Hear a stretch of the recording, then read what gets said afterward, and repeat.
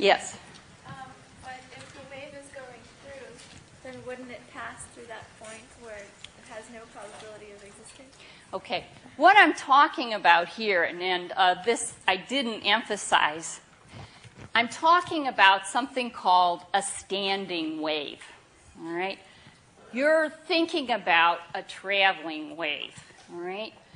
One thing I think I forgot to tell you the last time is that the wave function is, in general, a function of r, theta, phi, and time.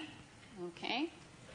But um, what I forgot to tell you is that we were not going to look at the time dependence of these waves.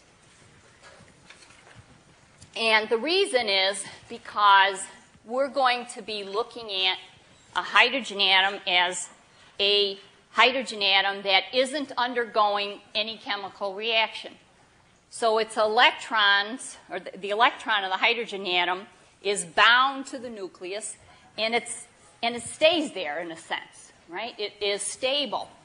We're not going to be looking at the wave function as two hydrogen atoms come together and make a hydrogen molecule.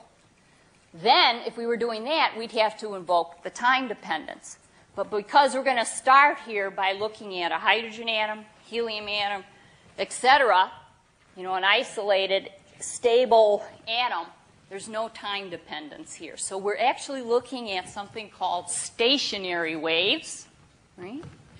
And, um, and that, that has no time dependence in it. Okay. So this is called time independent or uh, um, stationary wave quantum mechanics, time independent quantum mechanics. There is time dependent quantum mechanics.